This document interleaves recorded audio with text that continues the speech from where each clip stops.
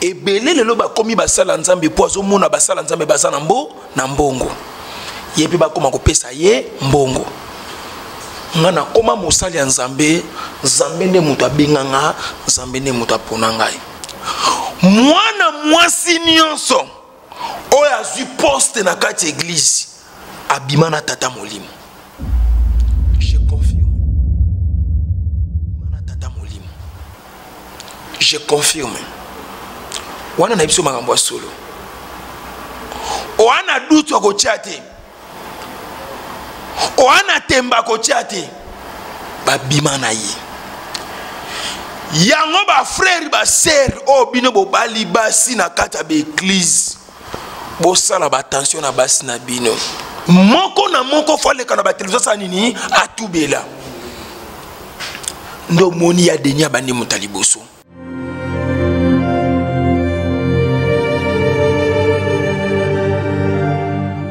mbote mingi bandeko balandi ya mk pro tv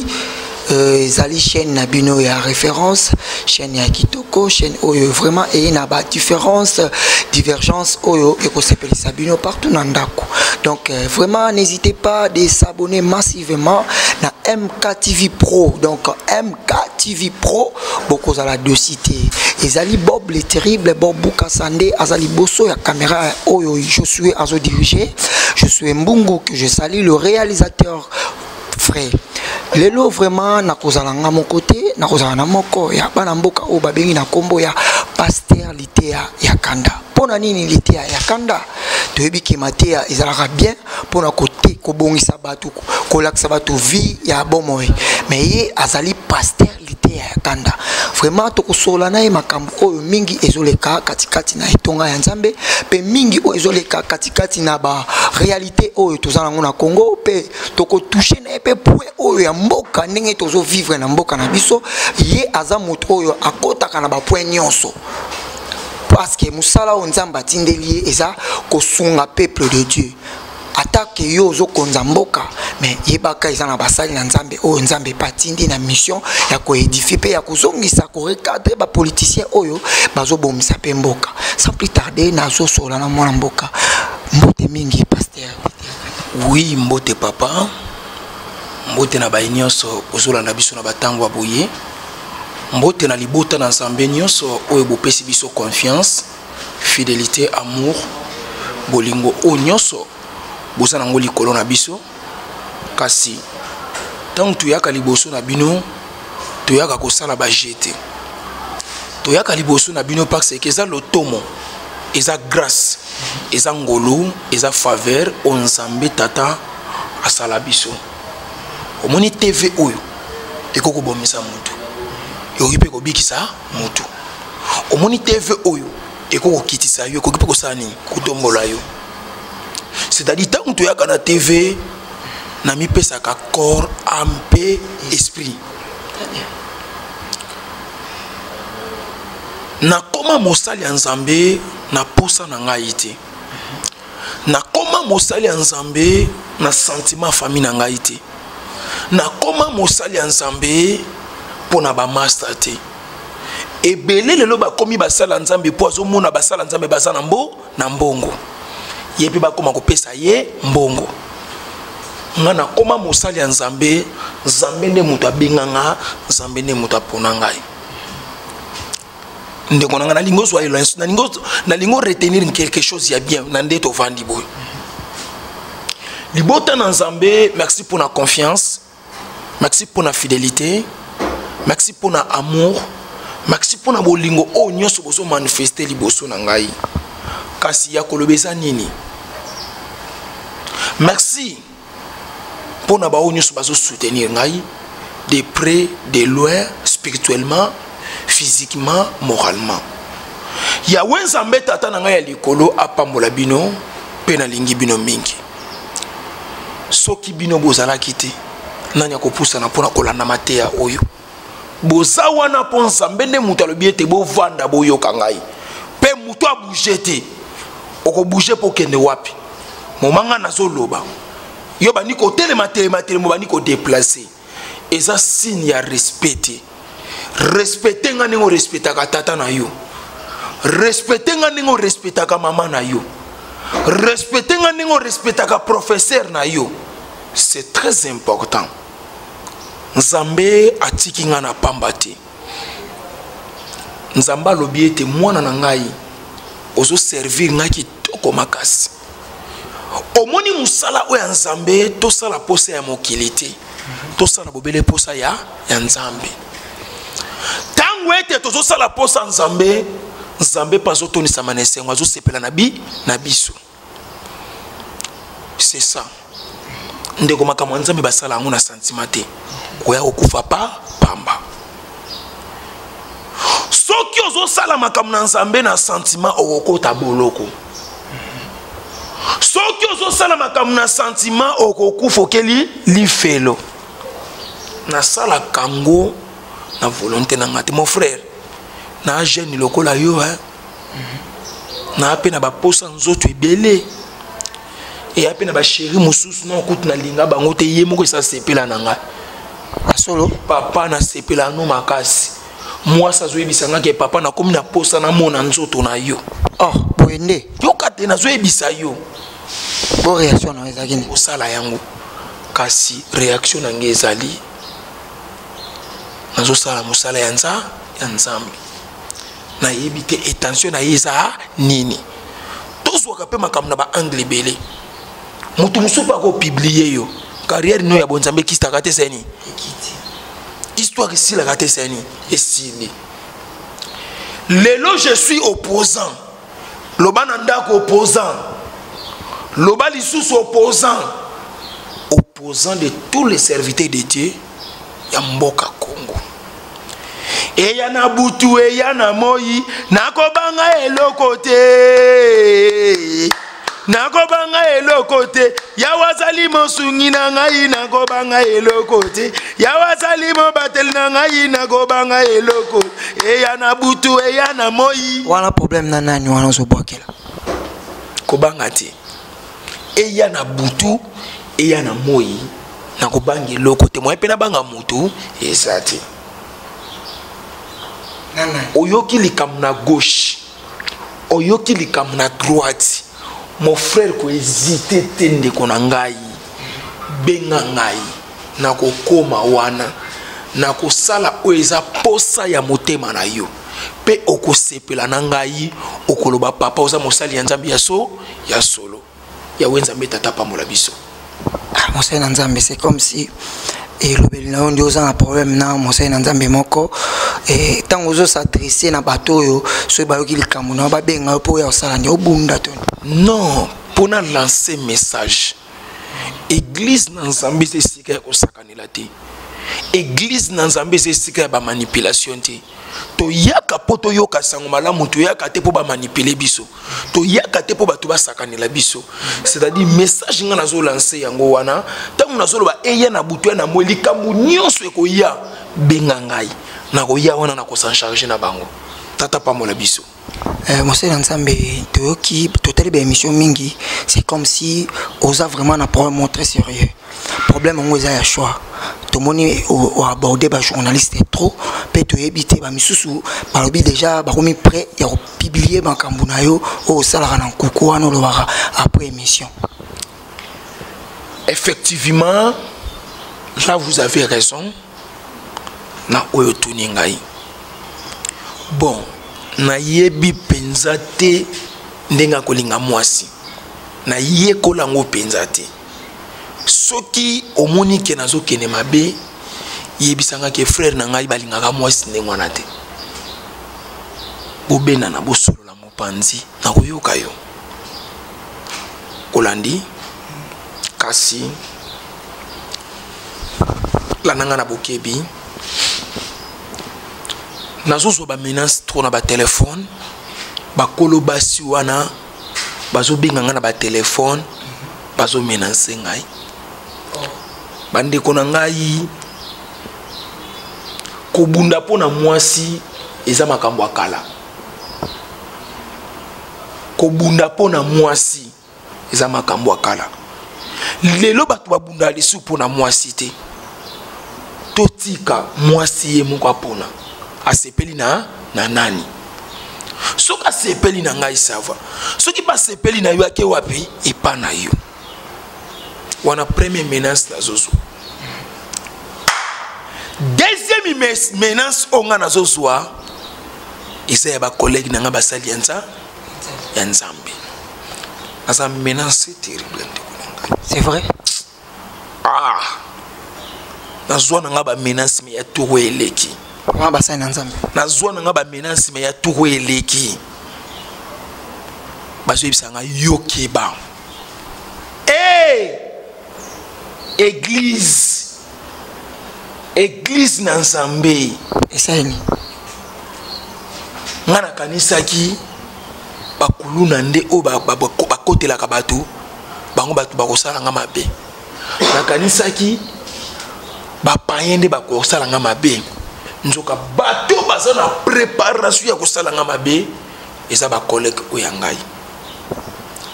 soki omoni moninga na likambo benga ye reproche ye nakoyoka yo mabe na nge eza ah, wapi mon frère nga ndeko na mobali bayebisi nga tambola liko wana basali na nzambe natambola likolo ah! okotanga ata kombo na ye mpo natanga komune na obanga nani comme si ozobanga tanga komune na obanga nani mpo nde baotambisi nayebi soko otie fue natangi kombo na ye me kasi yango te obanga na yo te ozobanga mon frère babiso komoni ndoki sala nini belela yango nabeleli ozobelela ya kobanga ozobelela ya kobanga te ndeko na ngai kobimisa nga pere te kasi tanga so obimisa nga moto abibanga banga te mon frère nabanga nai na mboka oyo oyebi nga so na nai na mboka oyo te natuni oyebi nga so na nai na mboka oyo malembe paster boni boye ko me mosali na nzambe yo foza claire ntango omoni ke motu boye azokana yo otangi nkombo na ye odelvoile odenonse ye bato bayeba eh, deja ke soki lelo lite ya kanda akutani na likama eza mpo na kingani yango wana nde nakokoma yango na testament ah. eh, nakokoma yango na testament kobanga te nakokoma yango na testament nakokoma yango na testament zala calme kobanga te ba liboso namona obangi nga nabanga ah, mon frère nga na banga bibangi na mwanza te nga na mobali mon frère omoni na mboka oyo soki oye na molimo okoki mpe kozwa chance ata mokie te mpo na degre ya niveau spirituel ya molimo na makasi na molimo na makasi na molimo ndenge omonaka ngai kanga dati ya lelo oyo nazoyebisa yo kanga dati ya lelo soki olingi ozwa mwa chance yaka na makofi ah paster yo ozopropose makofi modele ngai nayebi kobundela soki oza na tembe mama na ngai nasa mabe na nani na yo oh, mais ngai naza journaliste kasi nayebisi yo te soki wana tembe tomeka mais ngai nao faire partie na bato baomenasi yo te ebanda nde nazopesa exemple na yo moto oza awa boyeba yango ngai nasali basport kasi na mboka oyo nakoyela yo bafilme na ngai ye eh, à l'époque ntango nazobunda bakatch eh. nayoka mpe lisolo na mpe ozalaka kuluna mon frère okoluka problème na ngai te oyo ebokaba wana pa père spirituel na ndenge ya mabe ofinga yokaka ngai nazalaka kuluna mon frère okoluka problème na ngai te eza bapasse na yo papa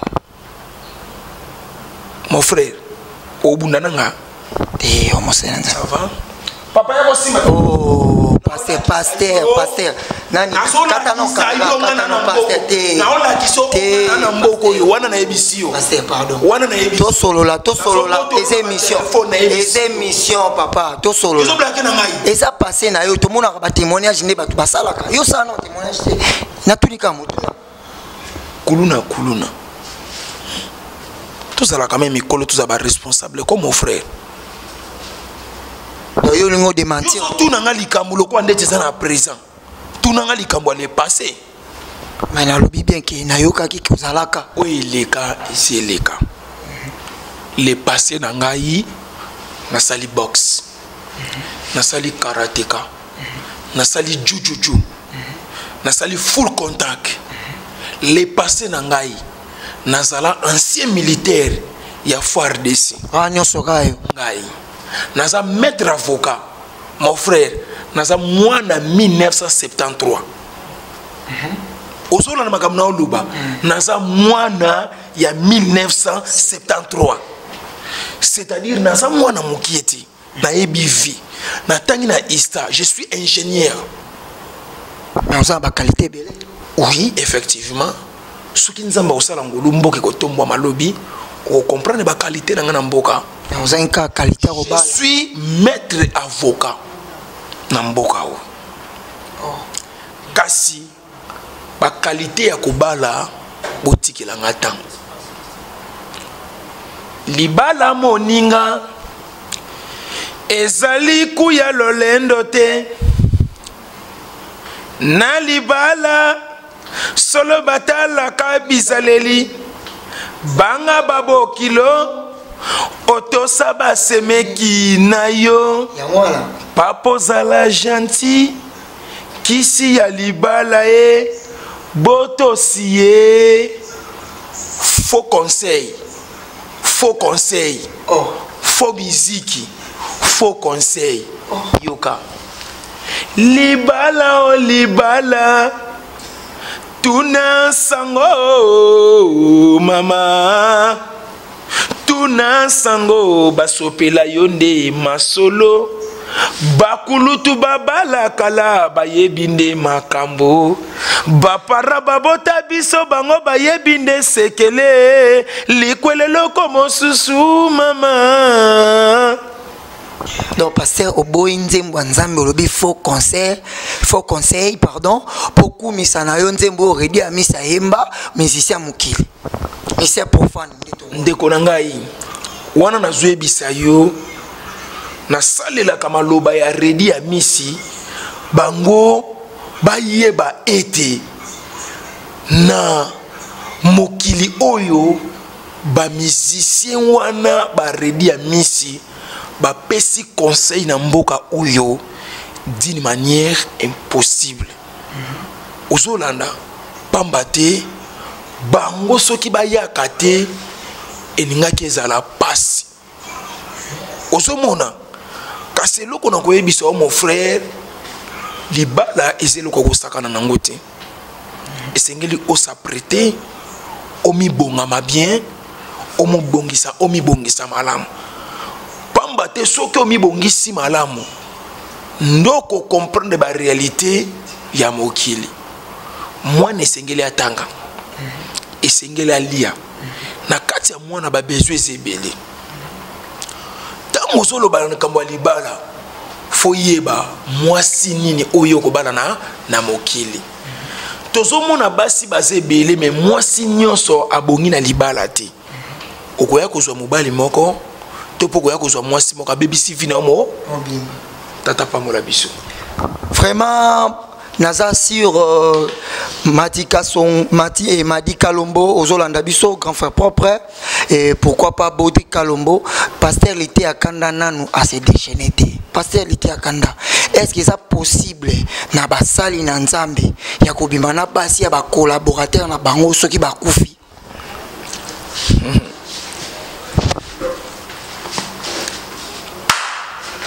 trouble moko ekoti na miniti oyo na mboka oyo nakopapolela yango mpenza bato biebie surtout na eglize c'est bien moi pasteur lite ya kanda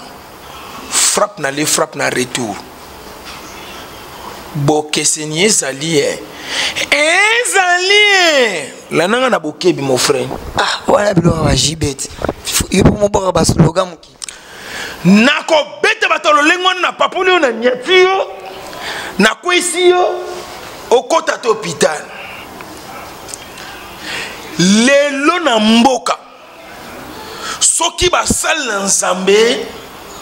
bazobima na basi ya bacolaborateur na bango banani bazopermettre yango eza bango moko bacolaborateur kosala maseki te eza na bato ebele amema na mwasi na bana na ye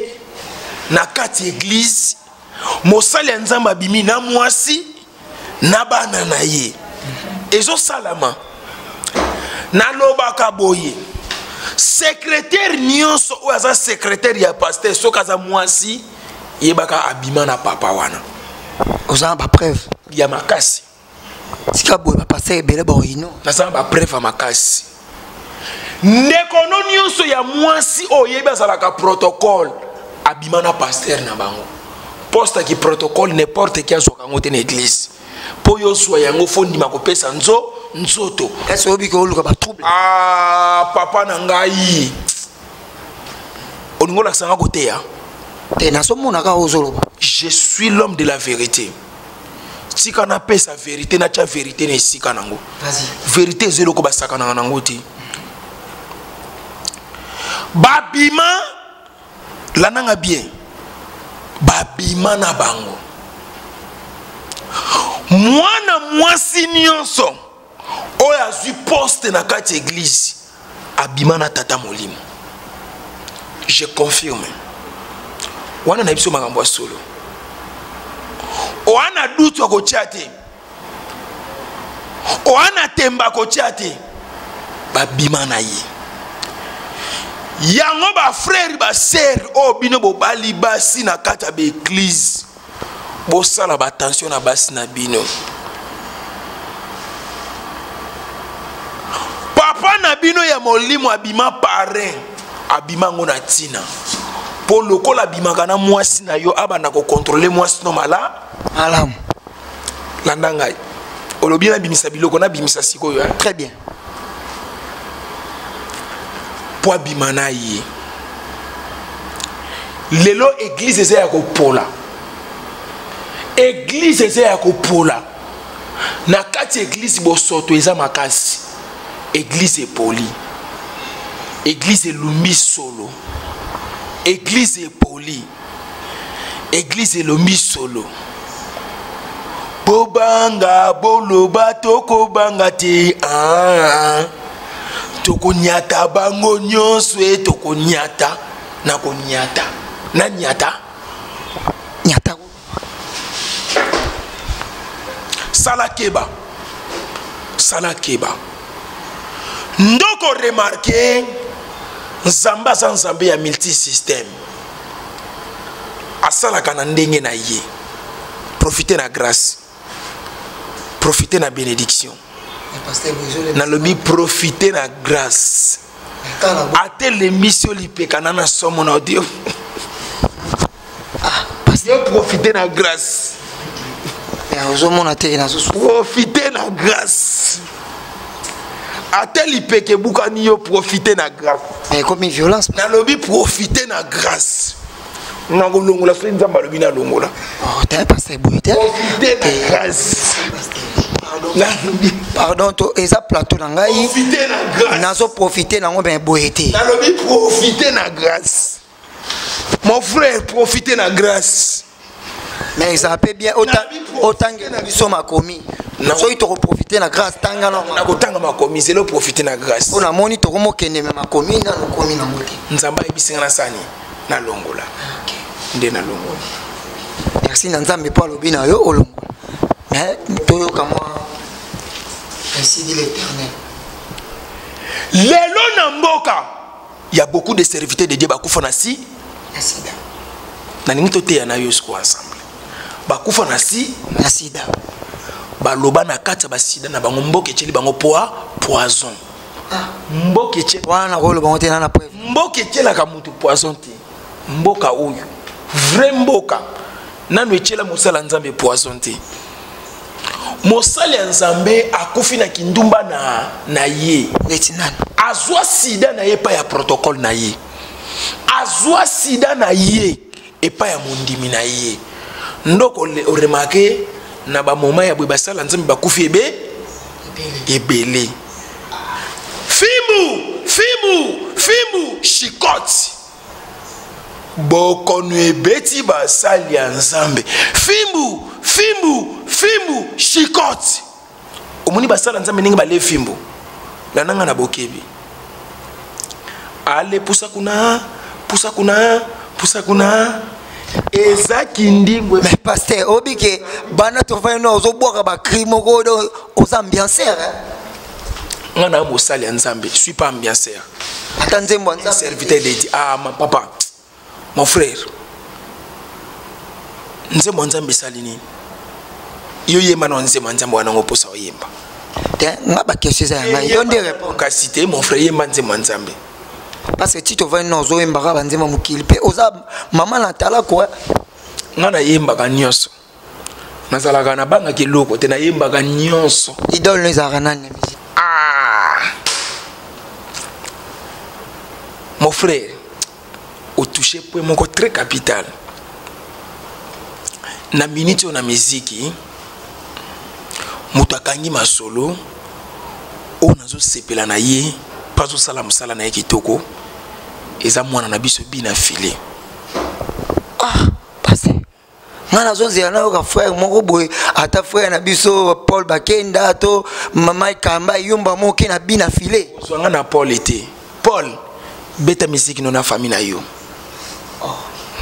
okozwa nga na paul ete bango bosala ba mosala nzambe mbanda na nga simbi touche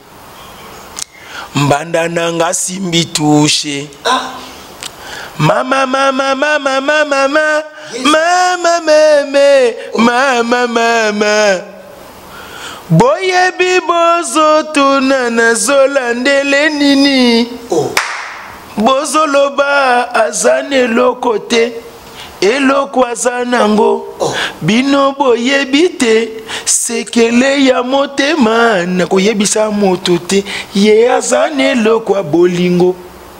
tokolongola bilamba tokopepa likolo liboso epeli moto attention okoloba n'importe quoi eh, oloba n'importe quoi monoko ya yo te oh mais toza liboso eh, oloba n'importe quoi nayebisi yo yo moto okomisanga mosala nzambe te naloba nimporte quoi mais mosala na nzambe ozokumisa bato oyo baza na profane nayebisi yo naloba nimporte quoi wana nayebisi yo naloba nimporte quoi mais mikolo oyo namoni paster denis les azotelemela bino bapaster nyonso alobi ke bozowangana ke boliaka mbongo ya, ya, ya, ya autorité morale ya fcc te bino bapaster bino moto bobomi vraiment mboka oyo lelo bapoliticien bakomi ko, ko, ko, ko, bato babomi peuple congolais eza politicien na pasteur okoki koloba nini place wana etake yo mosali na nzambe liteya kanda ya verité effectivement nakoki kozanga maloba te naloba loba trouble moko ekoti na miniti oyo na mboka oyo nakopapolela yango mpenza bato biebie surtout na eglize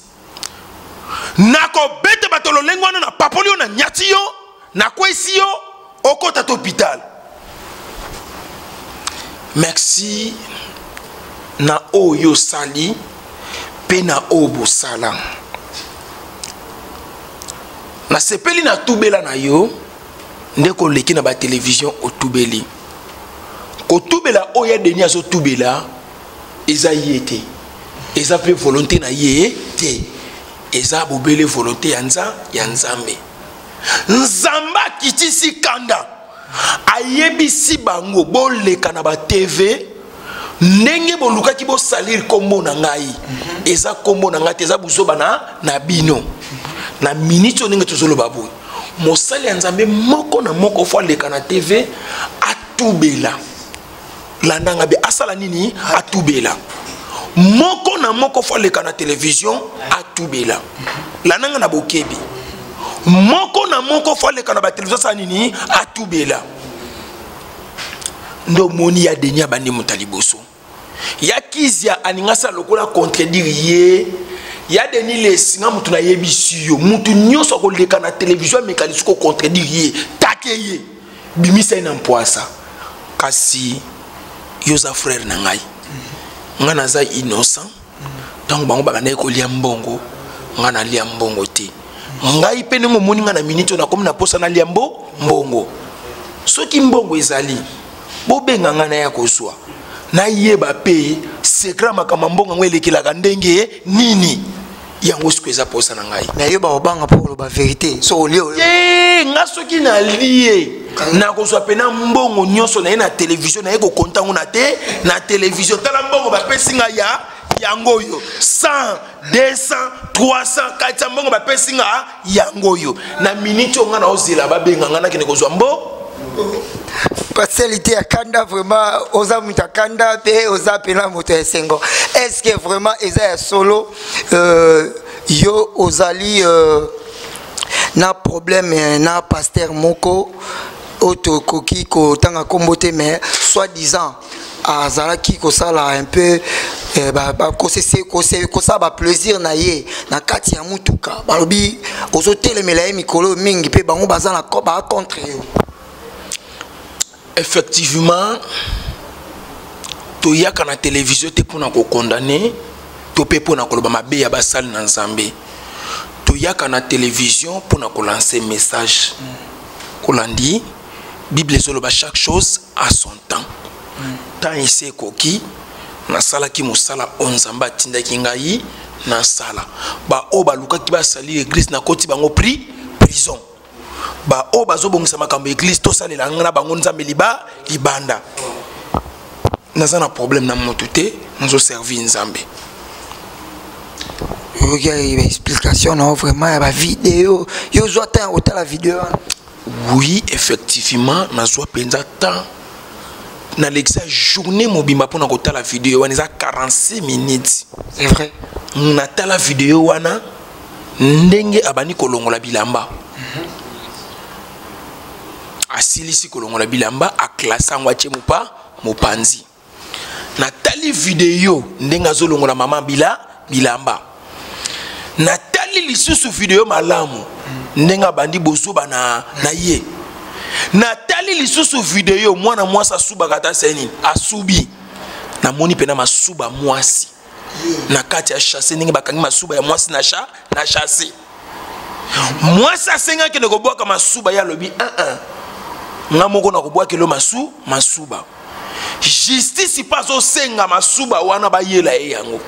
mpe bakende kosala masuba wana adn bayeba masuba wana eza ya mwasi wana to eza ya, na, ya nani okokamwa eske masuba basalaka yango adeni basalaka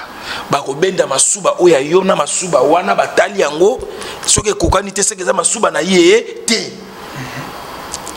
natali lisusu video bien nga moko namoni eza ya kokosela motu te ndenge azobakisa lisusu so soyi wana mosali ya nzambe azotia soyi